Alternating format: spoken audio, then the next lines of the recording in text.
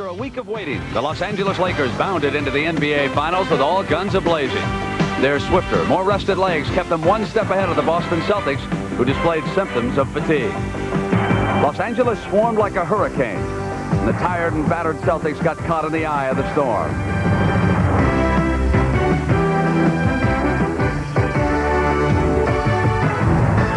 Los Angeles is a city where stars cast imposing shadows. And in the first game of the finals, one star shined brighter than all. James Worthy had center stage to himself, and his breathtaking performance deserved rave reviews. He sparked the Lakers to a resounding triumph and had this city talking sweep. Tonight, it will be the Stars in Green who must rewrite the script, even things up, and cast an entirely new shadow before the series shifts back to Boston.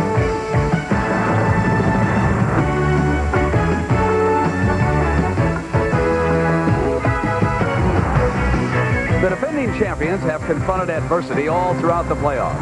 And needing a win in Game 2, Boston will have to play especially tall.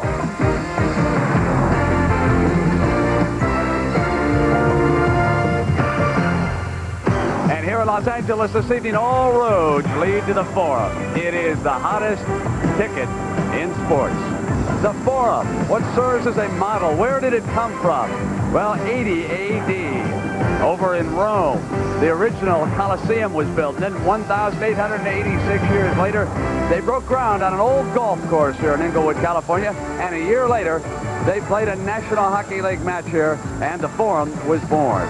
It was inspired. In fact, the man who drove it to completion with his cash and his will was Jack Kent Cooke, and then he would later sell it to a cowboy out of Wyoming for $67.5 million. Dr. Jerry Buss now trying to close in on another NBA championship. So we welcome you inside the fabulous forum, as they have always called it here in Southern California, as CBS Sports continues its coverage of the 1987 NBA Finals. This is round two. The imposing Los Angeles Lakers will try to make it two in a row tonight against the defending NBA champion, Boston Celtics. Good evening, everybody, and welcome. I'm Brent Musburger. You know, ordinarily, you would say in Game 2, the team that was beaten badly in Game 1 will close in by sheer force and will and make a contest. But things may have grown even worse for the Boston Celtics in the injury category.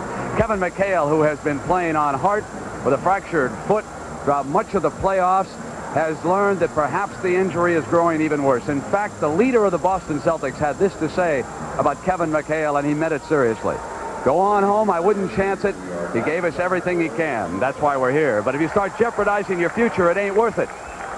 Short time ago, my colleague Dick Stockton had an opportunity to talk to Kevin, and he asked him if he can do anything right now to help the foot. You know, I, I don't think I can do anything more to the foot than it's already been done. Uh, the damage has been done in there. Now it's a matter of just waiting till the end of the series and then going in there and probably having an operation and a screw put in there to bring the bone back together. So I'm not concerned really about hurting it anymore. I don't think I can I can do any more damage to it. And as far as effectiveness, you got to play with what you got, and I'm going to go out there and play. So injuries continue to be a big problem plaguing the Celtics. Larry Bird was out early, practicing as he always does on game day. Dick, you had an opportunity to speak to him. What about Larry? What were his thoughts? Well, Brent Larry Bird, who had an opinion on Kevin McHale, also had an opinion on the Celtics. He says, we have to come out differently tonight. We've got to not be timid as we were in game one. We've got to be aggressive. We have to bang the boards. We have to be a lot more physical. And the Celtics basically have to rebound a lot better. Robert Parish and Kevin McHale had a combined nine rebounds in the first game, and that was the lowest output by that tandem this year. My partner, of course, is Tom Heinsohn. Tommy, basically the Celtics won this year and have to win tonight if they can with intelligence. Dick, it must be a paramount and intelligent ball game. They cannot take any quick shots, particularly in the first quarter. Only layups. They've got to work the clock down to under 10 seconds before they take the shot in order to try and destroy the rhythm of the pace of the game. Tommy, specifically on the court, what do the Celtics have to do to try, to try to derail the Lakers? Well, the Laker fast break has simply been awesome. And what you've got to do is a couple of things to slow the ball game down a little bit. First of all, off a missed shot, Boston must get all over the rebounder and make it tougher for L.A. to make the outlet pass. The Celtics must then step up and challenge the outlet and slow their ball handlers down. This will give Boston's bigger, slower players time to retreat down the floor and pick up the Laker wingmen. All in all, It's delay, delay, delay. Now, Tommy, a lot of people think that was the whole game for the Lakers, the fast break, but they had another important element as well. If anybody thought that, they're wrong because the Lakers played outstanding defense against the power of the Boston Celtics, the inside game. They made them hurt in that department. All right, so the Celtics, who have lost five straight games on the road in the playoffs, face a big hurdle, Brent, because no one has been successful in this building. Yeah, exactly, Dick. The other side of that stat is the Lakers are unbeaten here in the Forum at home this year. So it is a tough road ahead for the Boston Celtics. But one thing to keep in mind, as the championship series now is played, the next three games after this one will be back in the Boston Garden. That's the positive side. We'll be back with game two in a moment.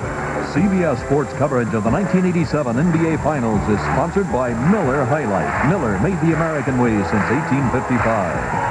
Nissan, who invites you to test drive a hot new Nissan car or truck and see why Nissan makes you feel like driving.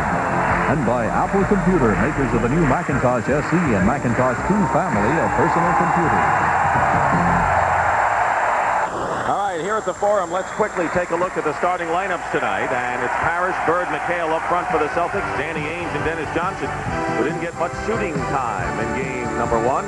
K.C. Jones, who's now 6 and 8 against the Lakers' lifetime in the playoffs. Worthy, AC Green, Kareem Abdul-Jabbar, Magic Johnson, and Byron Scott make up the Lakers starting lineup, and Pat Riley, who's been to